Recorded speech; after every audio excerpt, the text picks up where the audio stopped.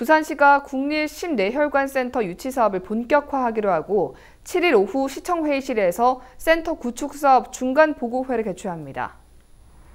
부산시는 국립심뇌혈관센터를 유치하기 위해 부산산업과학혁신원을 기획사업으로 선정해 센터 구축 사업 과제를 추진 중입니다.